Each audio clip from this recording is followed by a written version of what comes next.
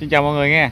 Thì ờ, hôm nay mình lại tiếp tục chia sẻ cho mọi người à, một cái bài thuốc mà chúng ta có thể trị được cái bệnh đau dạ dày chúng ta bằng một cái phương cách, phương thức và một cách rất là đơn giản luôn. Nhưng nếu mà chúng ta không có cập nhật thông tin và à, mình sẽ không có ờ, nói chung là mình không có biết thì mình bỏ qua rất là uổng luôn. Đây là cái cây ổi nè mọi người. Mọi người thấy cây ổi không? Đó đây là cây ổi mà mình sắp ừ, chia sẻ cho mọi người một cái bài thuốc từ cái lá ổi này mà chúng ta có thể trị được cái bệnh à, đau dạ dày rất là tuyệt vời luôn. Mà đã có rất là nhiều người đã sử dụng và đã có kết quả rất là tuyệt vời. Bài thuốc này à, chúng ta sử dụng lá ổi và gạo lứt không người ha? Thì cái bệnh đau dạ dày chúng ta nó um, lý do làm sao nó nó xuất hiện với bệnh đau dạ dày?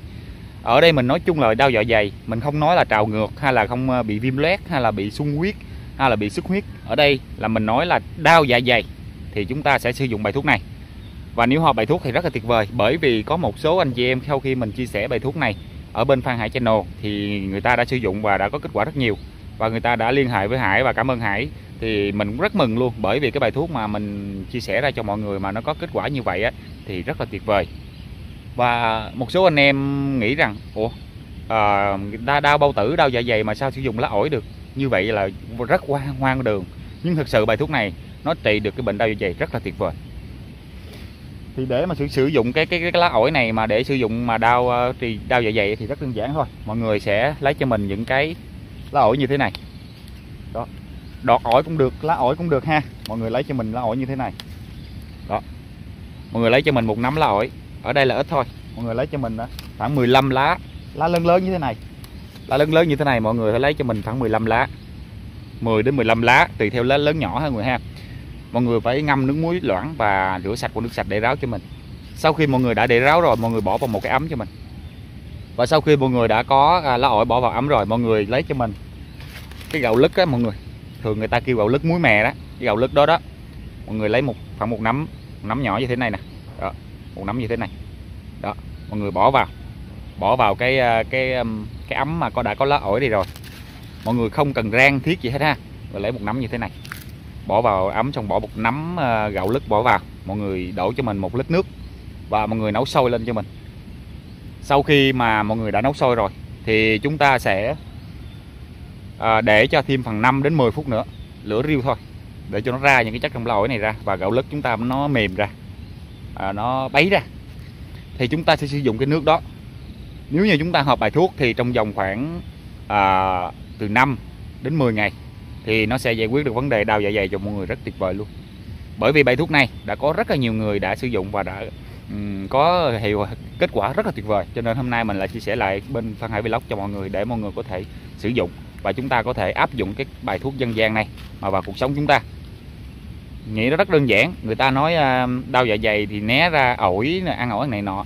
Nhưng mà riêng cái à, bài thuốc này từ lá ổi và gạo lứt thì nó rất là tuyệt vời bởi vì mình đã chia sẻ và đã có rất là nhiều người à, hồi âm lại cho mình là đã hết bệnh từ cái bài thuốc này. Cho nên hôm nay mình lại chia sẻ thêm cho mọi người từ cái bài thuốc từ cái lá này mà chúng ta có thể áp dụng vào cuộc sống. Nếu như hợp bài thuốc thì trong vòng 5 đến 10 ngày thì nó sẽ có kết quả rất là tuyệt vời. Và bài thuốc này rất là rẻ tiền. Chúng ta không cần thiết phải à, à, mất nhiều thật nhiều tiền. Và sau khi trong khi chúng ta điều trị và sau khi chúng ta đã điều trị xong nếu có kết quả tốt và trong khi chúng ta điều trị thì chúng ta nên kiêng gì? Chúng ta nên kiêng ăn ăn quá cay ăn à, ăn quá nóng ăn thức ăn cứng. Thức ăn cứng có nghĩa là ví dụ như là xoài ổi cốc. Đó những cái thức ăn đó là những thức ăn cứng. À, chúng ta không nên ăn những cái thức ăn đó uh, trong khi chúng ta đang đói. Bụng chúng ta không có gì bao tử không có gì dạ dày không có gì hết mà chúng ta ăn nó vào. Thành dạ dày nó sẽ ép vào. Thì ép vào thì nó đụng thức ăn cứng nó lâu ngày thì nó sẽ ảnh hưởng đến niêm mạc của dạ dày chúng ta chúng ta nên kiêng. Chúng ta đang bị đau dạ dày thì chúng ta nên kiêng luôn, không ăn nữa. Và chúng ta không nên ăn đồ cay, đồ nóng, ví dụ như là ớt này, sa tế, rồi những cái mì cay rồi đó, chúng ta không ăn.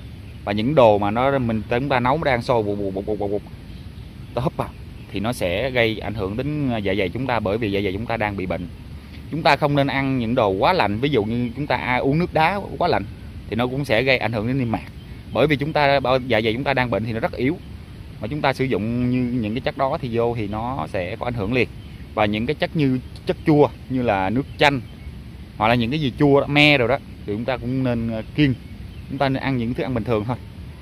Đó là một số mà lưu ý cho mọi người có thể nắm rõ và chúng ta trong khi điều trị và điều trị xong rồi thì chúng ta cũng nên kiêng. Ý thức lại cái cái cái, cái cách mà chúng ta sử dụng thức ăn à, cho nó hợp lý à, và nó sẽ không tái phát lại sau này thì rồi hôm nay mình đã chia sẻ xong cho mọi người uh, cái uh, cái lá ổi này uh, nấu với gạo lứt. Thì à, nó có tác dụng là trị đau dạ dày rất là tuyệt vời. Và cảm ơn mọi người đã quan tâm và theo dõi kênh.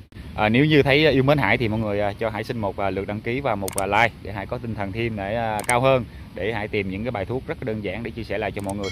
Để và mọi người nhớ nhấn cái chuông để chúng ta có thể nhận được bài thuốc sớm nhất và chính xác nhất từ cái kênh Hải đăng lên ha. Và bây giờ thì video Hải xin kết thúc ở đây. Và bye bye mọi người